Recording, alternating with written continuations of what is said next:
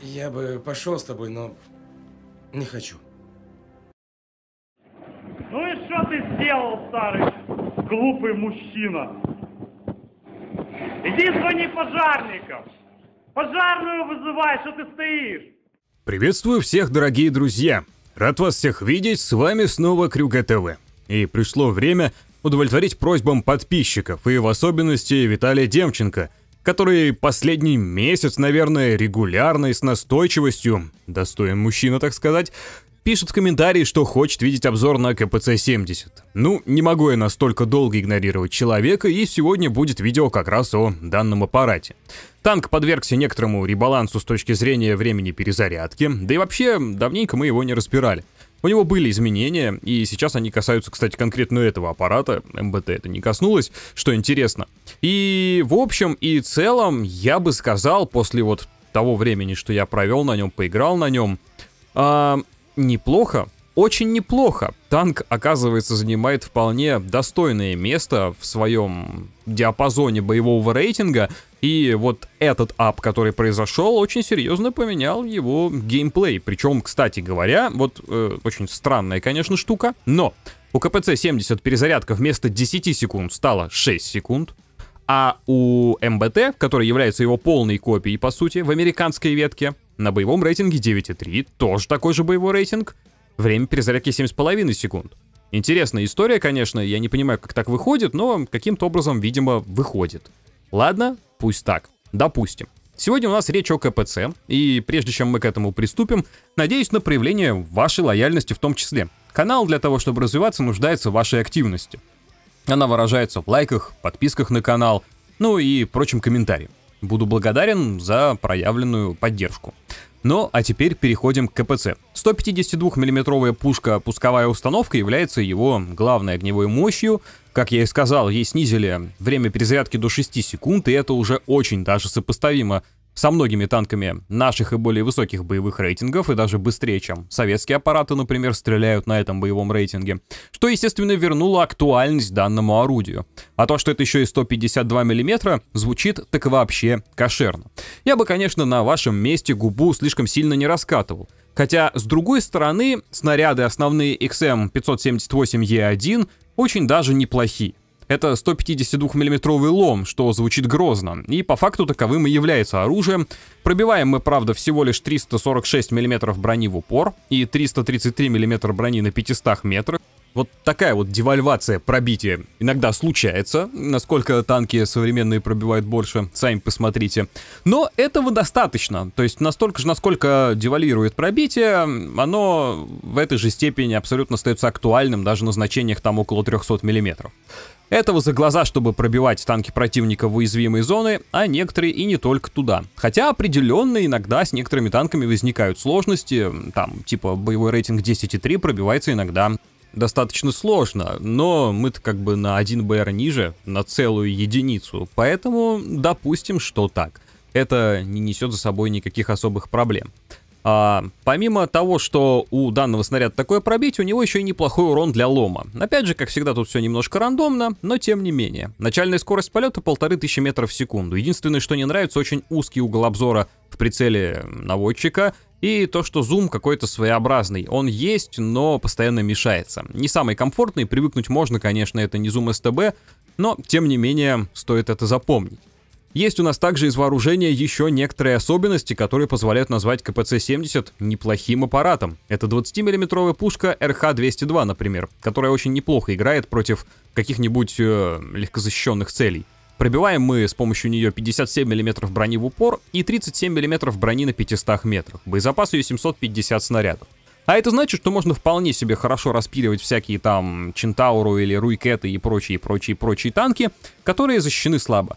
Конечно, в бочину леопардов, не знаю, если вы в аркаде, например, играете, или там 62-ки пробивать у вас, скорее всего, не выйдет, но тем не менее, ей можно и создать дымовую завесу, и попробовать сбить, например, вертолет. Довольно мощные боеприпасы, причем лента наполовину фугасная, так что у вас вполне это может получиться. То же самое касается и даже самолетов. Эта двадцатка определенно добавляет актуальности танку. Есть еще дымовые гранатометы и позволяют нам пару раз откинуть дымы, а также есть мелкокалиберный пулемет, что тоже неплохо. По итогу получаем крайне внушительный набор вооружения, огромный калибр и при этом супер быструю перезарядку в 6 секунд. Конечно же, нормальный стабилизатор двухплоскостной, скорость поворота башни в 33,5 градусов в секунду и отличные углы вертикального наведения от минус 10 до 20 градусов наверх. И, откровенно говоря, на 9,3 это очень и очень-очень достойные показатели для танка. Есть, конечно, представители, например, тот же XM1, который будет выглядеть не хуже, но теперь у него боевой рейтинг такой же 9,3, и у него свои плюсы, свои минусы, так что КПЦ от него определенно не отстает. Это сейчас за счет вот такого бафа к времени перезарядки одна из самых актуальных машин становится, потому что огневая мощь супер внушительная. И при этом мы перестреливаем, по сути, все, что встречаем на своих боевых рейтингах. Но тут стоит, конечно, напомнить, что КПЦ это далеко не имба в плане защищенности, хотя пока я играл на нем, ощутил определенные приятные дуновения от этого всего точки зрения брони тут никакого интересного вы опыта не получите. Давайте возьмем какой-нибудь там танк СССР, посмотрим, как ЗСУ пробивает нас, например, на бронебойной ленте, и в лоб она нас не пробивает, что логично. Но давайте возьмем теперь какой-нибудь Т-55А, возьмем его камерный боеприпас и увидим, что в принципе он нас пробивает довольно уверенно. Да, не возьмет нас, например, в маску и не возьмет нас там в часть какой-нибудь лобобашни. Но зоны, которые защищены, все-таки довольно невелики.